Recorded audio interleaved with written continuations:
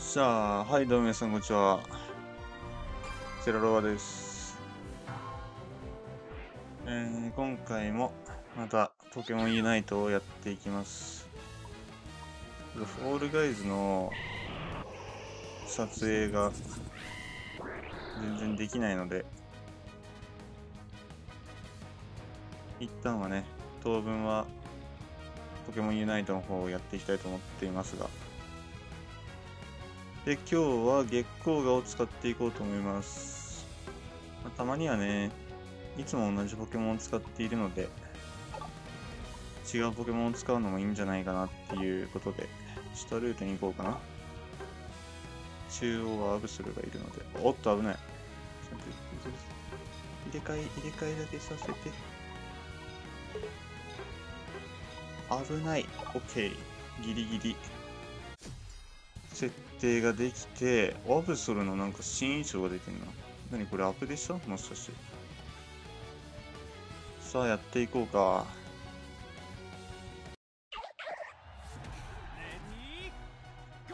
さあ、下ルートから、おっと、あのですね、ケロマツを使うのは初めてなので、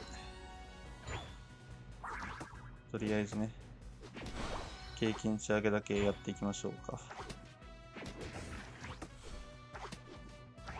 うん、オッケー。最初 R を選択するべきだったね。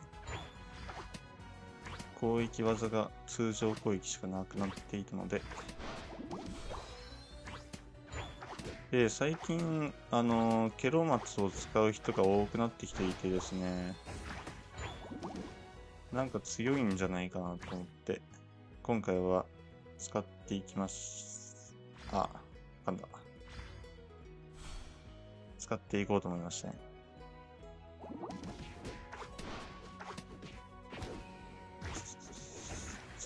ちょいちょいちょいちょいちょいちょいちょい。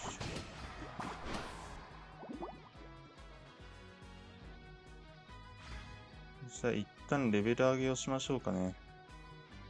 はいはいはい。こんな感じで、OK。かな。敵は結構、今回、殴るの大好き系だからな。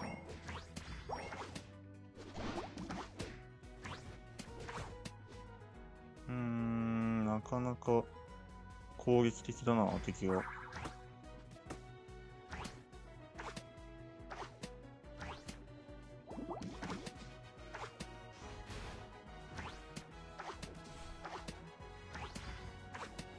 オッケー。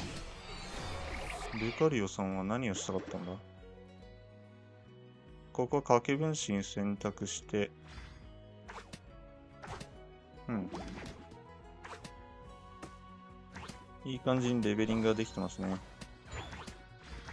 で、30あるので決めに行きたいんだが、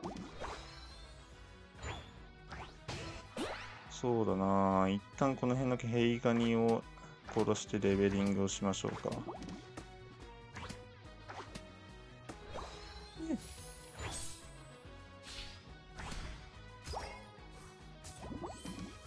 あー、やばい。やった。やらかしたー。レベル7の9コンに喧嘩売りすぎましたね。で、じゃあ一旦ここのルンパッパを殺して、で、こいつらね、意外と掛け分身の、こいつらちゃんと攻撃してくれるんで、こうね、掛け分身出しながら、で、これ水手裏剣選択して、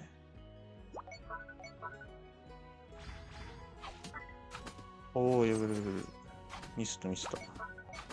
まあ、早めに月光河になれたので、おっと、それで、こいつが、こいつがなんか、やば決められてんだけど。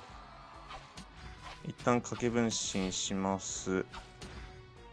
水手裏剣。いいんだけどね。なかなか良いんだけど、ちょっと HP が、アブソルがいい感じに味方のアブソルがいい感じにレベル上げてんので、今回アブソルを育てていきてえな。とりあえず僕もレベリングして早めにユナイト技を使えるようにしていきたいです。ユナイト技まで生きるようになって、一旦ユナイト技を使わせていただきまして、そうだなこのカビゴンを一旦牽制しましょうかね。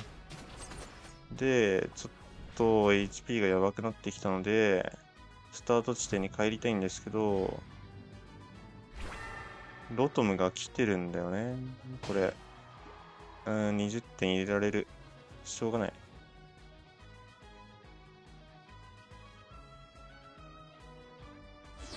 で、もうこれは正直、なかなか相手の方が、うーん、そうなんだよね。相手の方がね、強いんだよね、これ。で、まだ、キルリアが進化してないだけマシですね。うん。まあでも、頑張ったらなんとかなりそうな感じはするけど、味方がね、諦めてないので、あれば、まだまだ、あー、そこの、キューコン殺したかった。くっそ。これは厳しいわ。で、カビゴンがほんと最近、あのー、強いんですよね。いやー、本当に、本当にやばい、カビゴン。で、水手水手裏剣がちゃんと使えてなくて、ちゃんと使えていないキャラで、あの、エリート潜るのはマジで、ミスりましたな。完全に。さあさあさあ、一旦レベリングして、サンダーで、一発逆転を狙っていきたいですね。はい。夏休み中にね、チャンネル登録者1000人ぐらい行きたいんですけど、1000人行ったら何がいいかっていうと、あれができるんですよね。収益化？収益化もあるし、生放送もできるんで、はい。あれ、生放送って確か登録者1000人以上だよね。はい。その生配信したくて、あの、ポケモンユナイトの、なんか1時間耐久生配信とか、そういうのをしたくてですね。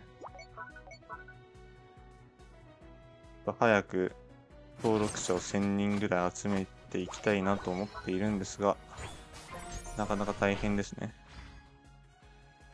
はい。一旦掛け分身。やばいな。どうしてそんなにダメージ食らうの？月光がさん。俺使い方悪いかな？もしかして。